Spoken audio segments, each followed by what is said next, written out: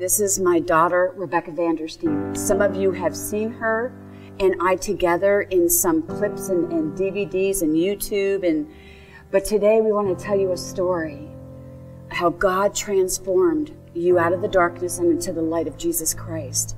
Yeah. And so it's really awesome. I'm just so honored to be with you. Uh, you're a superhero of the faith to me. There are millions of young people waiting to get set free. That's why ever since we got, ever since you came into the light of Christ, we had a dream. And today our dream is happening. Amen. Amen. And so we're very excited. And so I want to start this off because I was in Salem, Oregon, and I was doing spiritual mapping with other pastors. And we were in this unbelievable hotel that had been closed down.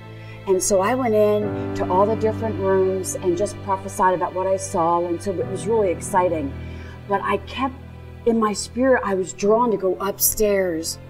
And when I did, I said to my husband, Larry, Dad, I said, You have to come up here. And he saw this mural of nothing but death that was That I drew. that you drew. Yeah. And so I started to put my hands, I grabbed anointing oil and I started to pray. And I said, Lord, she's mine. I want her. I want you to bring her to me.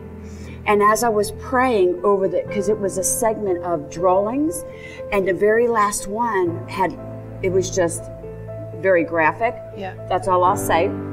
And so I went and I put my hand up on the wall in the natural as I was praying for you to get saved. And then my hand had blood on it.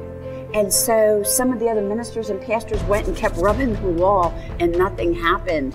And I really believe by the Lord it was a supernatural, Sign. it was a sign from God. Yeah. And after that day, I knew one day we would meet, but we never knew we would meet this way.